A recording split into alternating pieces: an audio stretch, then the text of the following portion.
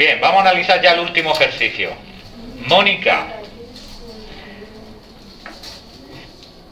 A ver si se anima más gente. Mónica recogió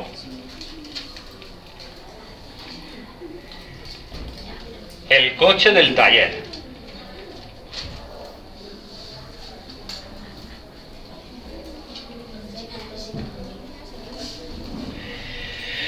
Venga. Unai. ¿Quién recogió el coche del taller? Mónica. Mónica será. Es el sujeto y aparte es el núcleo. ¿Qué hizo Mónica? Predicado. ¿Cuál es el núcleo? Y ahora cuidado, el coche del taller, ¿qué será? Lo recogió. Complemento directo. Se puede sustituir por lo. Ahora analizamos, aquí tenemos un grupo nominal, vamos a ver. ¿El qué sería? Determinante artículo determinado. Determinante artículo determinado. Coche, Eh, el núcleo. Del taller. eh, eh, complemento circunstancial del lugar. ¿Qué, qué, qué, qué, qué? Vamos a ver. Un complemento circunstancial no puede ir acompañando un nombre. ¿Qué hemos dicho? Al lado de un nombre habrá un complemento de... ¿Entendemos? Lo que puede ir al lado de un nombre solamente es el determinante que va adelante y el complemento de nombre que va detrás. Y al lado un verbo solo puede ir complementos circunstanciales, que son adverbios. Del, ¿qué será del? Son dos palabras. Una preposición de más un artículo el. Y taller, el núcleo. Es el nombre que acompaña. ¿Vale?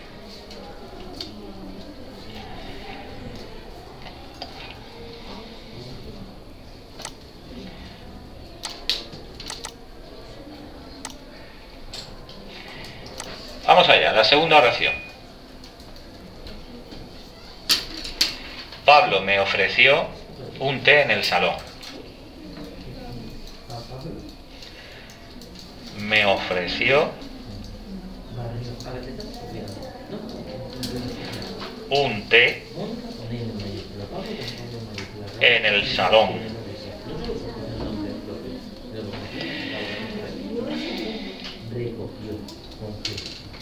Voy a preguntar yo.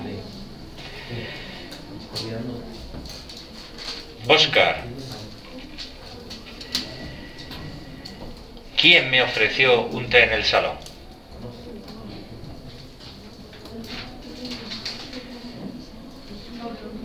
Pablo. Entonces, Pablo, ¿qué será?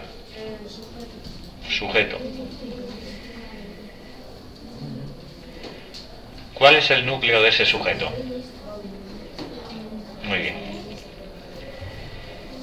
Era difícil equivocarse ahí. ¿Y qué hizo Pablo? Entonces, ¿qué será esto? Predicado verbal. Muy bien. ¿Cuál es el núcleo de ese predicado?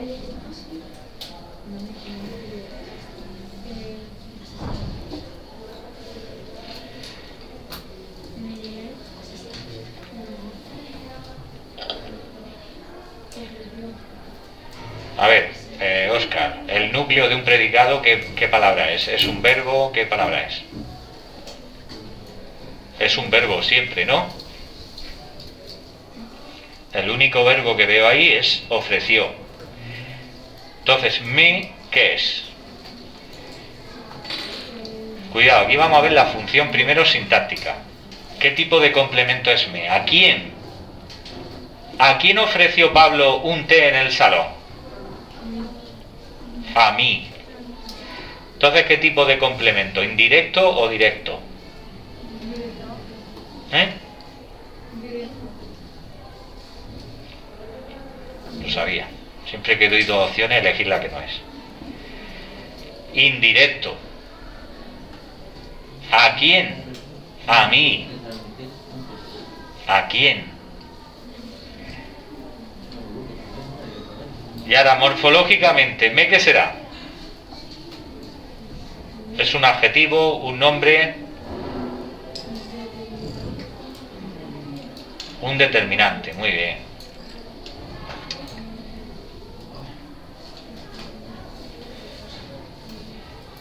Es un pronombre. Está sustituyendo a un nombre.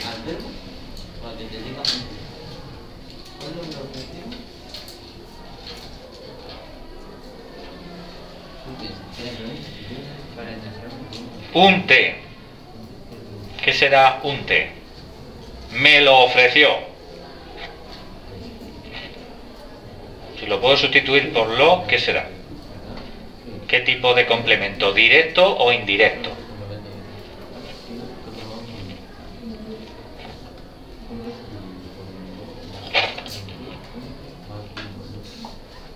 Directo, muy bien. Complemento directo. Un ¿qué será?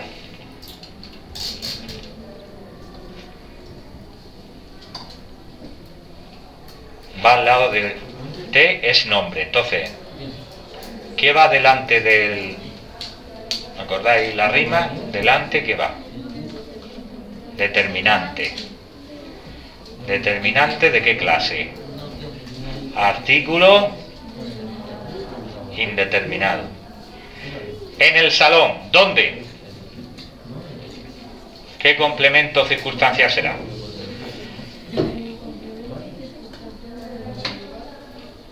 De lugar.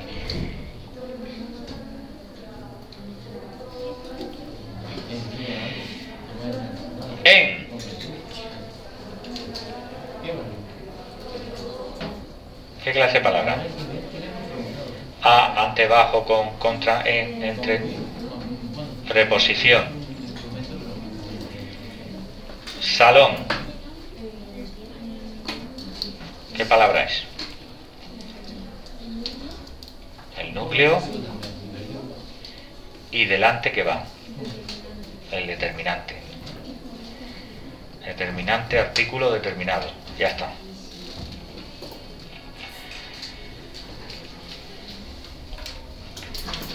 Quito dos puntos. Voy a hacer eso, mira, cuando pregunte a uno y una cosa que hemos trabajado y falle, le voy a hacer, en vez de un punto, es que te tengo que quitar, porque es que no, no lo puedo entender. Hay algunos fallos que no, no son comprensibles.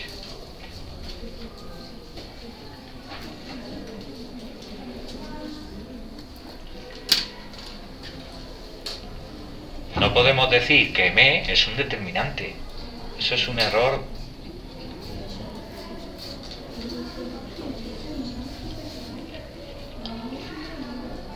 Raúl barrió con energía el pasillo.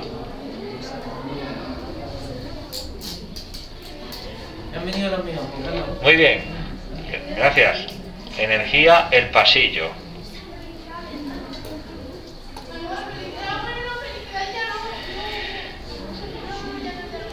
Va a hacer el propio Raúl, protagonista de esta historia. ¿Quién barrió con energía el pasillo? Sujeto. ¿Cuál es el núcleo de ese sujeto? Bien. Wow. Impresionante. Vamos a ver. ¿Qué hizo Raúl? Vamos. ¿Cuál es el núcleo? Barrió, porque es el verbo. Con energía. ¿Cómo? ¿Cómo barrió Raúl el pasillo? De modo. Sí, señor. Somos jóvenes. Complemento circunstancial de modo. ¿Con sería una preposición? Con preposición. Energía. Nombre. Claro. Lo barrió. ¿Qué es lo que barrió el pasillo?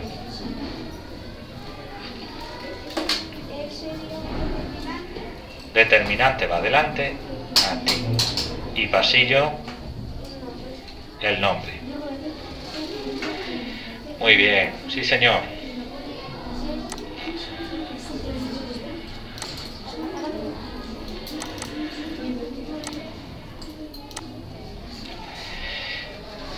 La periodista escribió durante horas.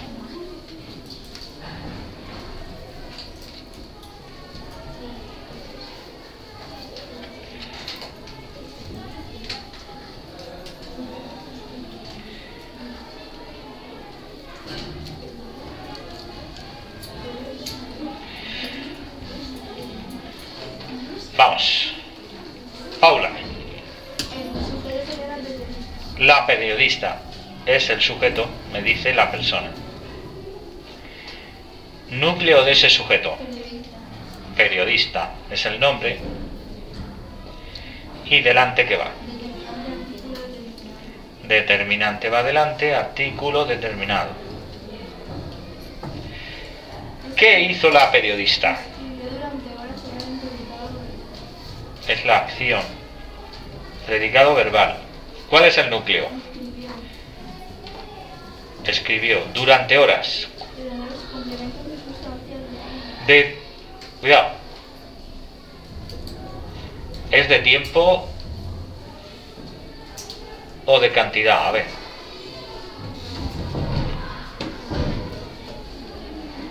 analizarlo a ver vamos a hacer las preguntas oportunas a ver si yo digo de tiempo se, tenía que haber dicho ¿cuándo escribió la periodista? durante horas pega mucho la respuesta Vamos a hacer otra pregunta. ¿Cuánto escribió la periodista? Durante horas. Podría- si en vez de durante hora hubiera puesto mucho, hubiera valido también. En vez de decir mucho, pues he puesto durante horas. Es de cantidad. ¿Cuánto tiempo? No me dice cuándo, me dice cuánto tiempo estuvo escribiendo durante horas. ¿Cuánto tiempo? Sí, complemento circunstancial de tiempo. No, de cantidad hemos dicho, perdón. Estoy... Vale. ¿Qué será durante? Preposición. Muy bien, preposición. Tras, durante, mediante, ¿acordáis? Y horas, el núcleo.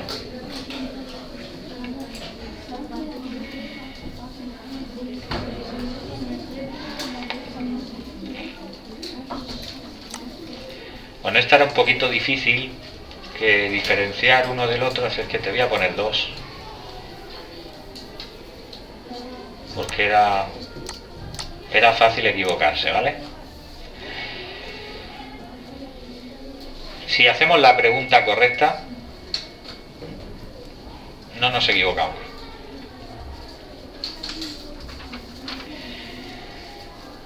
Seguimos.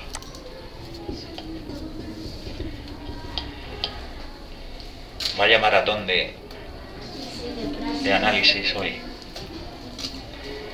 Pero bueno, hay que repasar, no hay otra. Esto se estudia como las mates haciéndolo. No se estudia leyéndote un libro.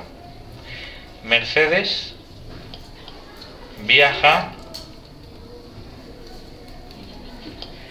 con Daniela a París.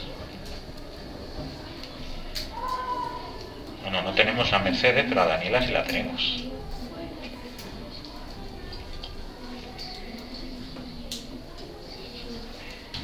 No sé si Daniela querrá hacer esta oración. parece a mí que no.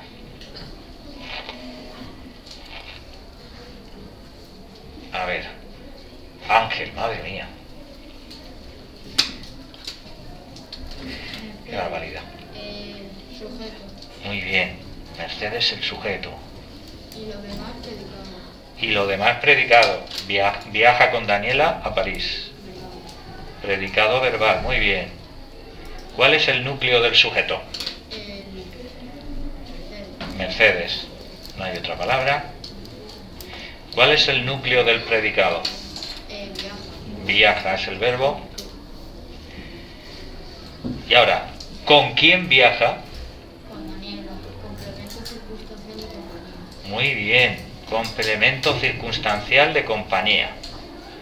Ponemos comp para diferenciarlo del el de cantidad. Con, ¿qué será la palabra con? El determinante. Mm, cuidado. A, ante, bajo, con, contra. ¿Qué eran eso? Pre, pre- pre- preposición, ¿vale? Y Daniela, ¿qué será?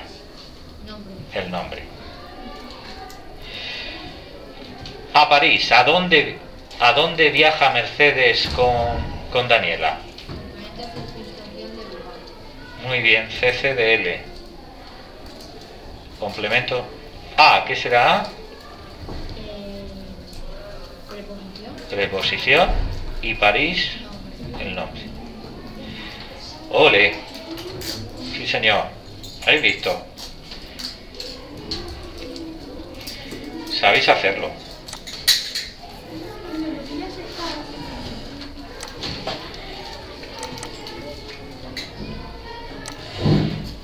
Hacerlo.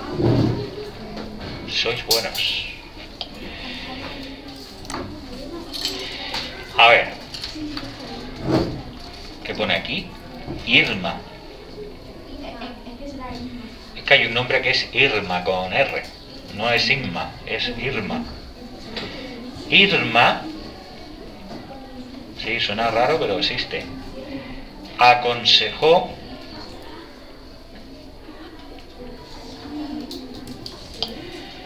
poco a su primo. Una oración fea, ¿eh? No me gusta nada.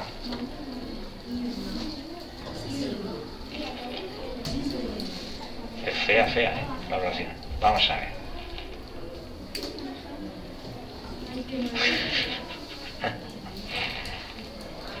Alejandra. ¿Quién aconsejó poco a su primo? Irma. ¿Cuál es el núcleo de ese sujeto? Irma. ¿Qué hizo Irma?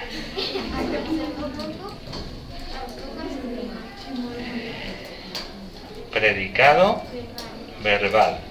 ¿Cuál es el núcleo de ese predicado de Irma? Aconsejó. Ahora, preguntamos al verbo. ¿Cuánto aconsejó Irma a su primo? ¿Cuánto? Poco. ¿De qué será? CC de Kant.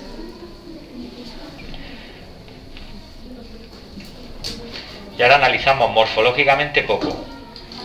Es un adverbio. A su primo, ¿a quién le aconsejó? ¿Cómo que de compañía? A ver, entender la diferencia. Para que sea de compañía tiene que tener la preposición con. Esa es la diferencia. Cuando veáis con su primo, si hubiera dicho con su primo, sería de compañía. Pero dice a su primo. ¿A quién va dirigido? A su primo. ¿Entendéis la diferencia del compañía? El de compañía siempre va a tener la preposición con. ¿Con quién? La pregunta es ¿con quién fue?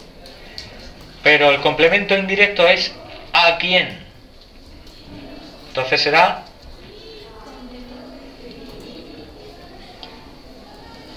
¿Vale? Porque aconsejó a su primo, pero no no se fue con su primo a ningún lado. Esa es la diferencia. ¿A qué será? Preposición su. Determinante posesivo. Y primo es el núcleo, el nombre. Muy bien.